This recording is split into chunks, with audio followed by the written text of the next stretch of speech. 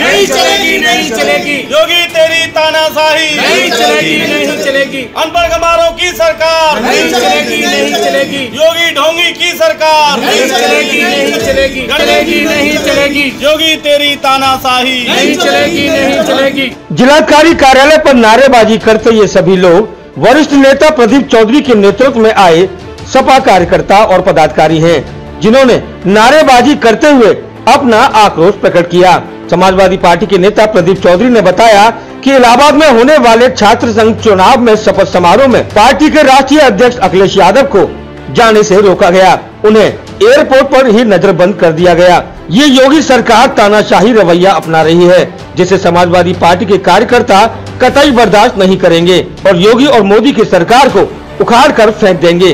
क्योंकि भाजपा सरकार जानती है कि अखिलेश यादव छात्र संघ समारोह में पहुँचे तो उसका प्रभाव पार्टी पर पड़ेगा और इस सरकार पूरी तरह से गुंडई पर उतर आई है जिसके विरोध में आज समाजवादी पार्टी का कार्यकर्ता जिलाधिकारी कार्यालय पहुंचकर अपना विरोध प्रदर्शन प्रकट कर रहा है। और यदि ज़रूरत पड़ी तो यहाँ पर धरना प्रदर्शन भी किया जाएगा।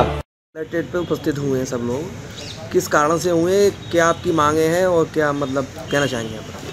आज हम समाजवादी पार्टी के राष्ट्रीय अध्यक्ष माननीय अखिलेश यादव जी छात्र शपथ ग्रहण समारोह में सभी जो छात्रों का इलाहाबाद में होने वाला था छात्र संघ का, उसमें सम्मिलित होने के लिए जा रहे थे। पूर्व पहले से निर्धारित कार्यक्रम था, पहले कार्यक्रम जारी हो गया था, लेकिन उनकी लोकप्रियता से, उनको जाने से, वहाँ के माहौल से भारतीय जनता पार्टी की सरकार इतनी बौखला गई है कि अभी माननीय राष्ट्रीय अध्यक्ष जी को एयरपोर्ट अब उनके जो अपने जहाज़ से वो जा रहे थे एयरपोर्ट से इलाहाबाद के लिए, उनको मैं नज़रबंद कर दिया है। इलाहाबाद जाने से रोका जा रहा है। ये लोकतंत्रों की हत्या है। ये सरकार तानाशाही के तरीके से चल रही है।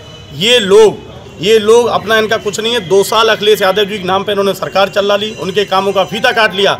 ये सरकार उससे इसे बौखला गई है कि लगातार नेताओं को घेरने का काम कर रही है। नेताओं पर लगातार फर्जी मुकदमे लगाने का काम कर रही है और आज इन्होंने सारी पराकाष्ठाएँ पूरी कर दी। ये लोकतांत्रिक देश है, यहाँ सबको अपनी बात रखने का अधिकार है, सबको अपने किसी कार्यक्रम में जाने का अधिकार है, लेकिन ये लोकतांत्रिक नियमों का, उनके अधिकारों का हलन, हनन कर रही है, हत्या कर रही है सरकार। और योगी जैसे व्यक्ति ने जो जो आज सरकार चला रहे हैं, उन्होंने अपनी ताकत का इस्तेमाल करके राष्ट्रीय अध्यक्ष के अलावा जाने से रोकने का काम किया है। इसीलिए आज सब लोग हम यहाँ डीएम के पास आए हैं। और हम सब लोग यहाँ बैठने का काम करेंगे, धरना देंगे, प्रदर्शन करेंगे, लेकिन इस तानाशाही सरकार को उखाड़ने का काम करेंगे।